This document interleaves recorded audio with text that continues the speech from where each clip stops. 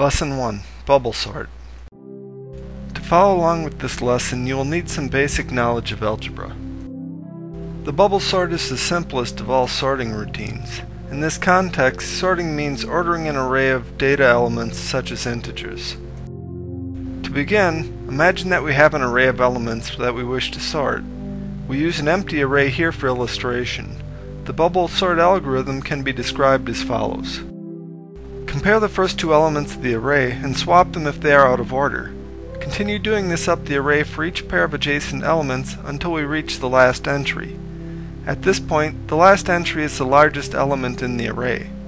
In the bubble sort, we continue this procedure for each next largest element until the array is fully sorted.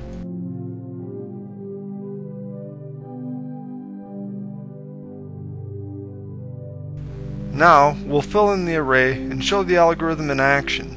We begin by comparing the 5 and the 9. Since 5 is less than 9, we do nothing. Then we compare the 9 and the 2. Since 9 is greater than 2, we swap the entries. We continue just as we did before. Notice that the largest number, 9, bubbles up to the end of the array.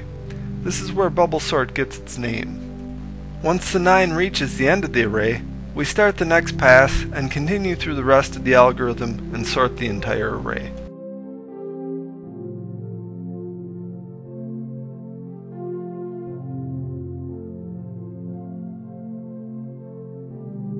The pseudocode for the bubble sort algorithm is very simple. It's just the four lines shown here. Bubble sort is a slow algorithm to quantify what we mean by that, we calculate the time complexity. Suppose that we have an array of n elements. During the first pass, we perform n-1 comparisons to get the largest element to the end of the array. The next time we perform n-2 comparisons.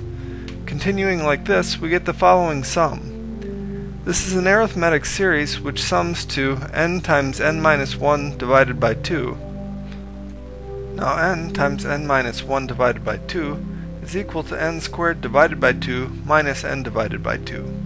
For large values of n, the n squared term dominates, so we say that the algorithm is big O of n squared.